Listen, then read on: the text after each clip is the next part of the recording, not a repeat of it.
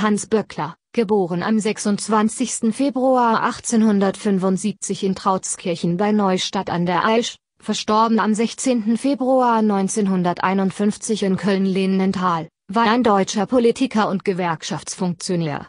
Bekannt ist er heute hauptsächlich durch die nach ihm benannte Hans-Böckler-Stiftung. Böckler wuchs in einfachen Verhältnissen auf. 1888 starb sein Vater. Als 13-Jähriger brach er deshalb die Schule ab, sorgte von da an für den Lebensunterhalt der sechsköpfigen Familie und begann eine Lehre als Gold- und Silberschläger. 1894 trat er in die SPD und die Gewerkschaft Deutscher Metallarbeiterverband, DMV, ein.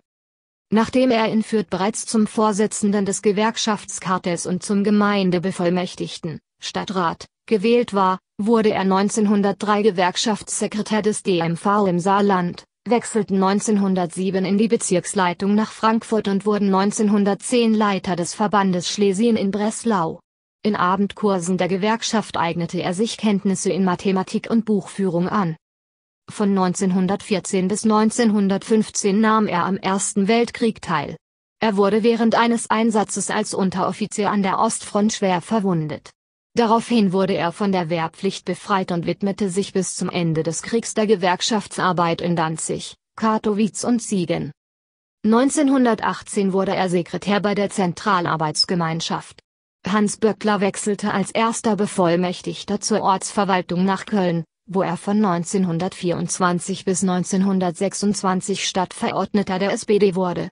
1928 wurde er zum Mitglied des Reichstages gewählt dem er bis 1933 angehörte.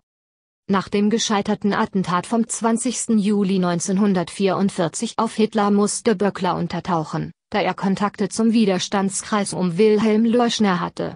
Im Rückblick schrieb Böckler, in der Nazizeit habe ich einfach meine Pflicht getan, war wiederholt in Schutzhaft und wurde, wie so viele andere, wirtschaftlich vernichtet. Meine jetzige Tätigkeit ist nach Wiederaufnahme Fortsetzung der früheren. 1945 begann er mit dem Wiederaufbau der Gewerkschaften in der britischen Zone. Er wurde zur zentralen Person beim Wiederaufbau der Gewerkschaftsbewegung in Köln und der Nordrhein-Provinz. Vom 2. Oktober 1946 bis zum 19. April 1947 war er Abgeordneter des Nordrhein-Westfälischen Landtags. Am 25. April 1947 vollendeten mehrere Einzelgewerkschaften ihren Zusammenschluss zum Gewerkschaftsbund in der britischen Besatzungszone und wählten Böckler zu ihrem Vorsitzenden. Am 14. Oktober 1949 wurde er erster Vorsitzender des Deutschen Gewerkschaftsbunds, DGB. Am 25. Januar 1951 erzielte Böckler die Einigung über die Montanmitbestimmung mit Bundeskanzler Konrad Adenauer. Hans Böckler erlag am 16. Februar 1951 in Köln einem Herzinfarkt. Die Trauerfeier fand am 21. Februar 1951 im Festsaal der Universität Köln statt. Nach der Eröffnungsmusik Sinfonia Funebre von Giovanni Paisiello sprachen auch Bundespräsident Theodor Heuss und Bundeskanzler Konrad Adenauer. Der Verstorbene wurde auf dem Melatenfriedhof, Flur 60a, in Köln beigesetzt. Sein Grabstein zeigt das Gewerkschaftssymbol des Zahnrades mit einem Zitat von Georg Herweg. Alle Räder stehen still, wenn dein starker Arm es will. Das Denkmal für Hans Böckler stammt von Ludwig Gies. Seine Ehrungen Die Deutsche Bundespost Berlin gab 1961 zum 10. Todestag eine Sondermarke heraus. Die Deutsche Bundespost gab 1975 eine Sondermarke anlässlich des 100. Geburtstags heraus. 1951 wurde er gemeinsam mit Konrad Adenauer zum Ehrenbürger der Stadt Köln ernannt. 1948 erhielt er die Ehrendoktorwürde der Universität zu Köln. In Berlin-Kreuzberg erhielt der Böcklerpark am Landwehrkanal den Namen des Politikers, in dem sich zudem eine Porträtstille Böcklers befindet, die der Künstler Karl Trumpf anfertigte. Die Bronzebüste wurde Anfang März 2011 entwendet und bislang nicht ersetzt. Die Böckler-Siedlung in Neumünster ist nach ihm benannt, er persönlich setzte den Grundstein. Nach Böckler war die Hans-Böckler-Gesellschaft und das die Hans-Böckler-Stiftung des DGB benannt.